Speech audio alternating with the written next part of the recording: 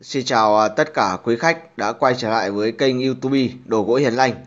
Quý khách hãy à, đăng ký kênh Đồ gỗ Hiền Lành để không bỏ lỡ một cái video nào.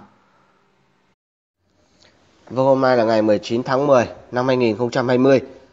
Cơ sở Đồ gỗ Hiền Lành à, tiếp tục làm video clip giới thiệu tới quý vị và các bạn các cái mẫu sản phẩm về đồ thờ cúng trong nhà thờ họ hay cũng như là đình chùa miếu mạo từ trước tới giờ các bạn cũng đã tham khảo rồi.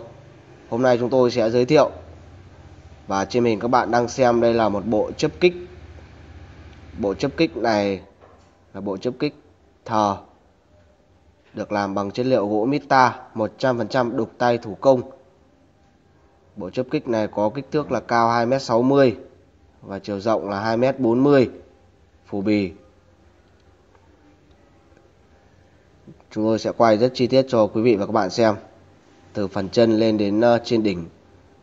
Thì phía dưới là chúng tôi đục dạ hồ phù. Và có một tầng cỏ đục uh, long trúc và hoa lá tây. Bên phần tai thì chúng tôi đục uh, long hóa mai. Phía dưới thì chúng tôi chạm uh, đầu nghê. Đầu nghê được ừ, dày 8 phân. Và bên trên thì chúng tôi chạm là giá rồng. Toàn bộ các ờ, thân cột. Là chúng tôi làm dày 6 phân. Phía dưới thì chúng tôi có tiện củ hành. Bộ chấp kích này thường thấy ở các đình chùa, miếu mạo. Và chúng tôi vừa về xong mộc, chúng tôi sẽ quay lại video clip chi tiết từ A tới Z cho quý vị tham khảo. Các cái mẫu mã sản phẩm cũng như là kích thước. Tôi xin nhắc lại kích thước của bộ này là cao 2m60, chiều rộng là 2m40. Và bộ này gồm có 8 binh khí tính từ bên à, trái sang bên phải. Chúng tôi sẽ giới thiệu lần lượt. Số 1 là binh khí long đao như các bạn đã thấy là thường của quan Vân Trường và tiếp đó là đến binh khí đinh ba và số 3 đó là binh khí mãng xà. Số 4 là vòng lửa. Và số 5 là long trượng. Trên màn hình các bạn đang xem đây. Chúng tôi sẽ giới thiệu chi tiết từng binh khí một cho quý vị dễ hình dung. Quý vị đang xem đây là chiếc vòng lửa là số 4 và số 5 là long trượng và số 6 là cá rồng, hay còn gọi là long ngư.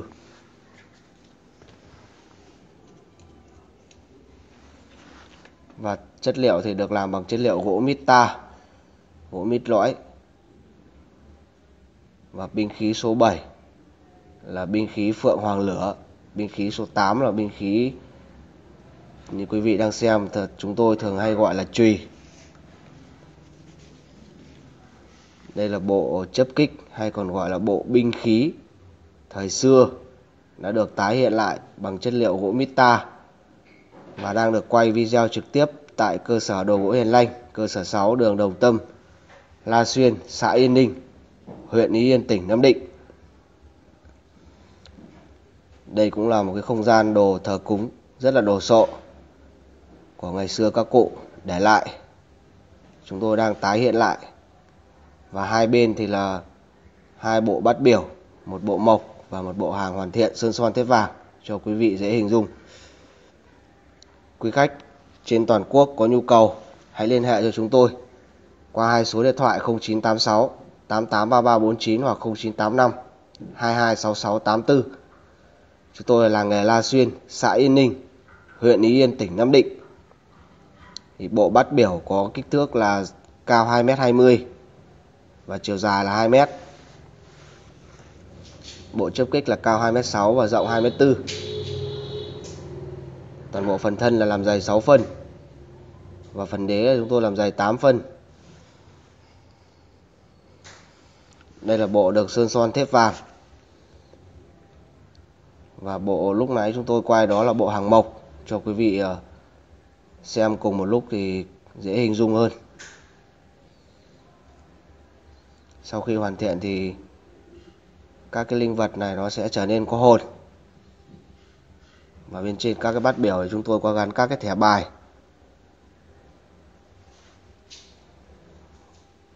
Các cái binh khí và bát biểu thì thường thấy ở đình chùa là nhiều hơn. Và hiện nay thì nhiều nhà thờ tự gia đã sắm riêng cho gia đình mình các cái sản phẩm như này. Trong không gian thờ tự, nó tôn lên sự uy nghiêm và sang trọng cái không gian phòng thờ.